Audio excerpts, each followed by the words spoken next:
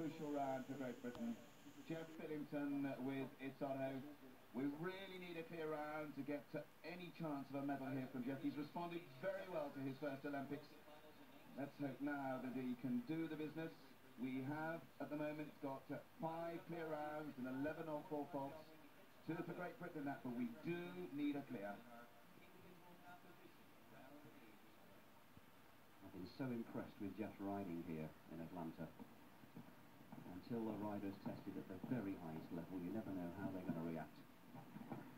Whether they're going to keep their cool and their, their accuracy, and Geoff hasn't missed a beat.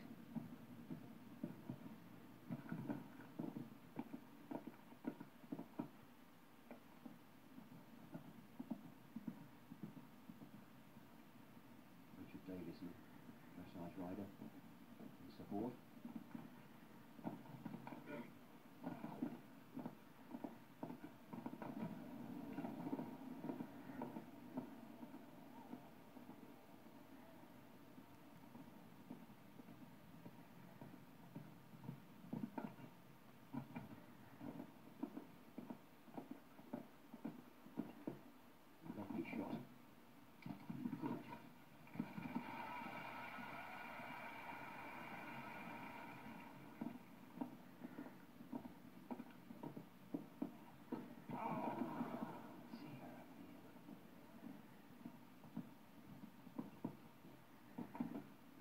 Pyra.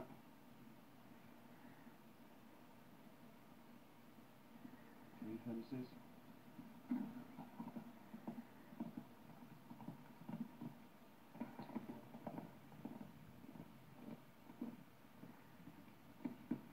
Well, it's been a copybook round all the way. Geoff could have done no more. Brilliant, brilliant ride. The horse jumped a super round, but not a clear round, is it? Just one down.